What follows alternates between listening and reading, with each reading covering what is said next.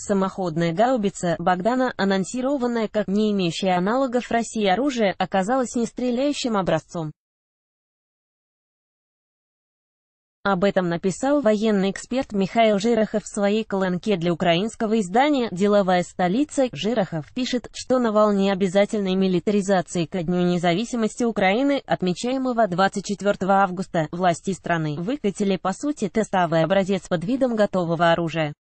Он называет эту историю во многом показательной для современного состояния украинского военно-промышленного комплекса. Фактически мы увидели нестреляющий образец, на котором не отработаны основные моменты, необходимые для самоходной артиллерийской установки САУ, явно отсутствует система автоматического заряжания и так далее.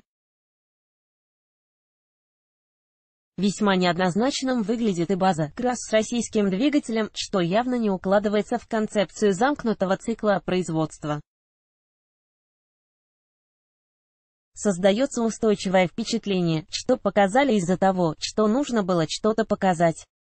Поэтому всерьез обсуждать какие-то характеристики по крайней мере рано, пишет военный эксперт. Жирохов обращает внимание на то, что министр обороны Степан Полторак еще 10 августа обещал принять на вооружение Богдану. И что, заявление официально о принятии на вооружение нет и после 10 по одной простой причине, принимать нечего, самое главное, орудие, по всей видимости, не стреляло.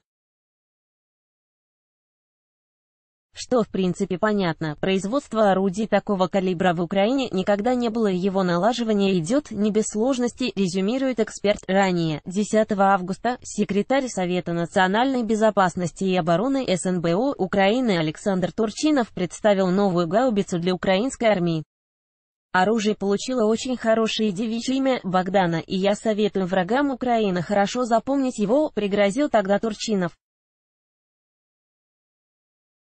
По его словам, аналогов этому мощному оружию нет в современной российской армии. Больше важных новостей в телеграм-канале «Лента дня».